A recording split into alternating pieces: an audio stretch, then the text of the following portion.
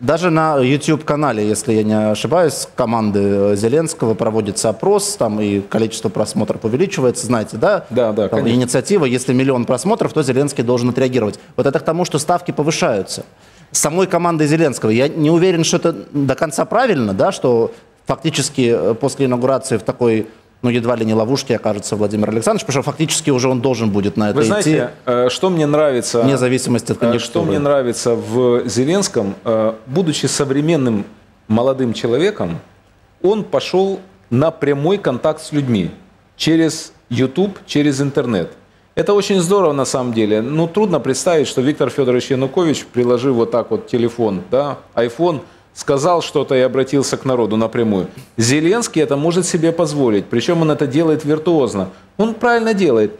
Прямое обращение к народу. Я думаю, что таким путем мы еще придем к электронному голосованию, подождите.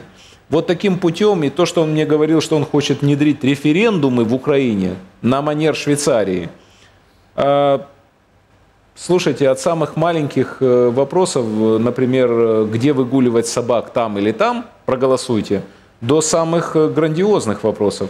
Все можно решать прямым голосованием. Причем, если сделать это еще интернет-голосованием, это вообще не надо тратиться на... Ничего не надо тратиться. То есть интересные вещи. Но мы Очень живем уже в интересно. 21 веке.